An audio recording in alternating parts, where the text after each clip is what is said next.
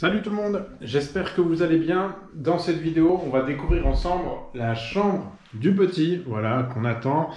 Et je vais vous montrer où on en est. Alors c'est une pièce, faut savoir, qui a été refaite euh, entièrement.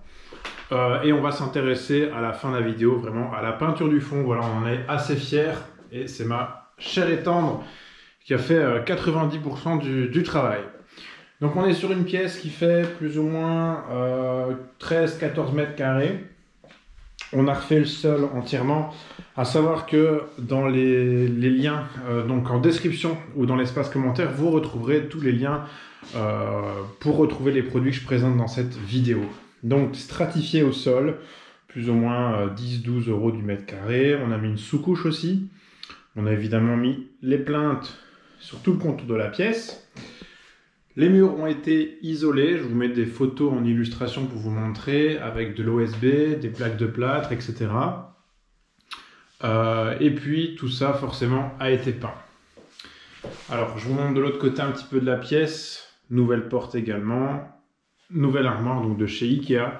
On a pris pas mal de choses chez Ikea parce que je trouve que pour certaines gammes, on a des très bons produits à des prix vraiment intéressants. Donc une armoire dans les tons gris, blanc comme le mur, euh, qui occupe toute la hauteur de la pièce.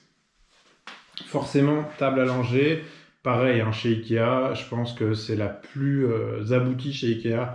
Elle est à plus ou moins 150 euros, avec beaucoup de rangements.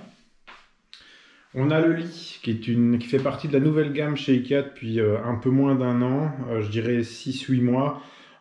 donc là, on est sur la gamme de Milra, donc M-Y-2-L-R-A, avec les barreaux comme ceci.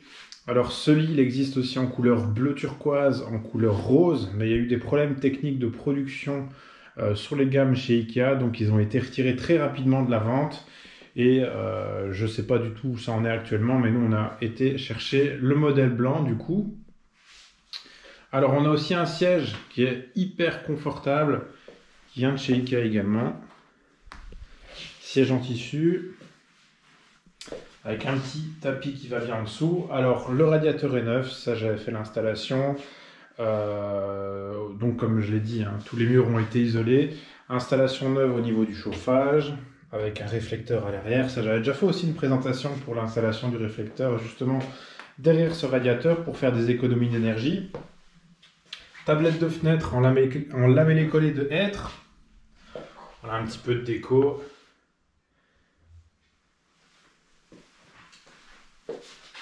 Et comme ça, on aura fait le tour de la pièce. Alors, je ne vais pas parler bien sûr de tout ce qui se trouve dans les armoires, ça c'est pas, c'est chacun fait à sa sauce. Euh, ici, je vous présente la Lollipop. J'avais fait une vidéo de présentation justement pour vous présenter cette Lollipop, une caméra de surveillance qui est vraiment très élaborée. Euh, je vous mets également tous les liens en description dans l'espace commentaire. Euh, ça, c'est pour choper le Wi-Fi.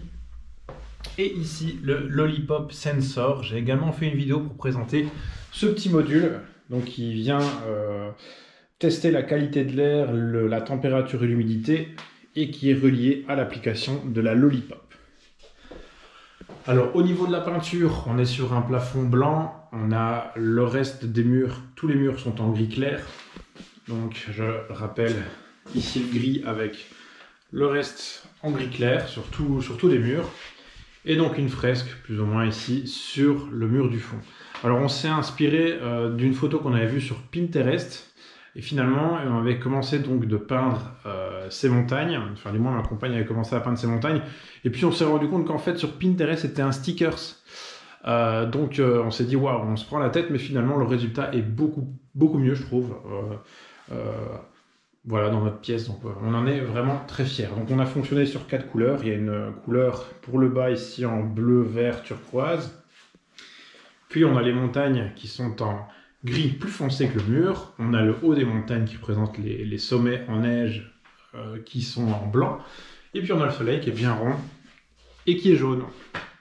Voilà, alors petit détail également, c'est qu'on retrouve dans le haut du mur ici, dans l'angle, des simèzes.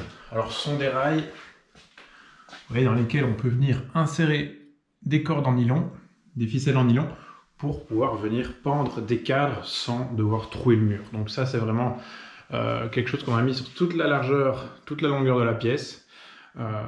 et comme ça, ben, on peut se permettre de venir pendre des cadres, de venir les déplacer, de les monter, les descendre, donc sans faire de trous dans les murs.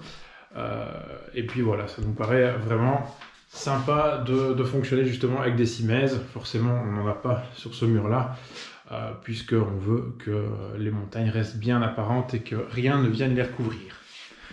Voilà, je vous mettrai bien sûr des, illustrations, des photos pour vous montrer un petit peu l'évolution de, la rénovation de cette pièce.